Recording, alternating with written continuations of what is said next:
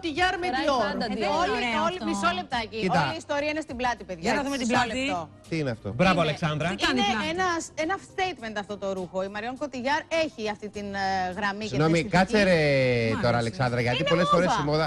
Αυτό το πράγμα σ' αρέσει. Ναι, μου που είναι αρέσει. σαν να έχει πάει στην τουαλέτα Δεν και να έχει είναι ξεχάσει να σκουπιστεί Όχι, δηλαδή εμένα μου κιόλα. αρέσει, είναι Σαν να έχει μια πάει στην τουαλέτα, πέτα. κοίταξε να δεις. Όχι. Σαν να φοράει ποντιακή που οι Έχει πόντιοι μια μέση- χαρά το φοράνε. Έχει μέση, Σαν κριτική έχει και βράκα πέτα. είναι. Μ' αρέσει και έχει και Δεν ουρά. την κολακεύει και αυτό το ύφασμα Κρέμει είναι το πολύ ρολόι. βαρύ. Κολακεύει τόσο, αναδεικνύει, συγγνώμη το ρούχο για να μην τρελαθούμε Δεν κιόλας. έχει, δεν έχει μέση. Πού το δείχνεις, από έχει πίσω είναι μέση, σαν έχει χεσμένη μέση. δηλαδή. Αυτό Έχει πάλι μέση το φαίνεται η δαχτυλίδι. μέση, κοίτα.